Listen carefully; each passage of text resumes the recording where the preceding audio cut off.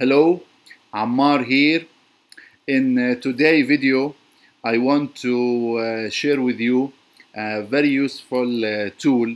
I'm using it usually to test the speed, uh, the write speed and read speed of uh, my internal uh, hard disk drives or the external ones even. The name of this tool is Blackmagic Disk Speed Test. This tool is available for Mac and available also for uh, Windows. It is free. You can just search on uh, the internet for Blackmagic Disk Speed Test. This tool is available for download directly from the company website. Uh, if you just start this tool, it will show a very simple and nice uh, interface immediately. The Blackmagic uh, interface. Uh, mainly there is two uh, two indicators here to, to, to, to show you the write speed and the read speed. And there is here in the middle two buttons. The first button is to start the simulation or start the testing by pushing some kind of uh, files to your machine uh, to test the write speed of it and then trying to read these files to test the read speed of it and there is here also another button if you want to pick another disk. If you want to uh, select here a target target drive.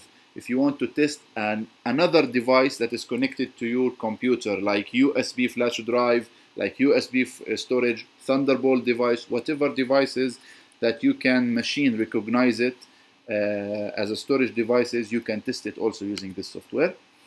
Uh, if you did not pick any device and you just uh, hit this button, the start button, the tool will understand that you want to test the speed of your internal hard disk drive.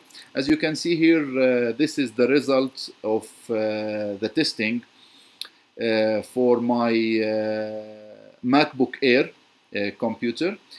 on this computer or laptop, I have SSD hard drive. It is 512 gigabyte as you can see here, it is extremely fast in write and in, uh, in read also.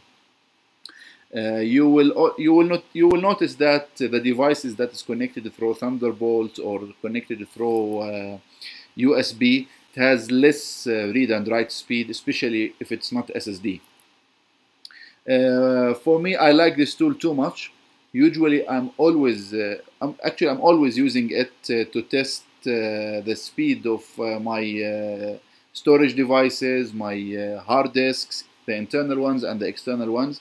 It's extremely helpful and extremely nice. Just quick and it's just free.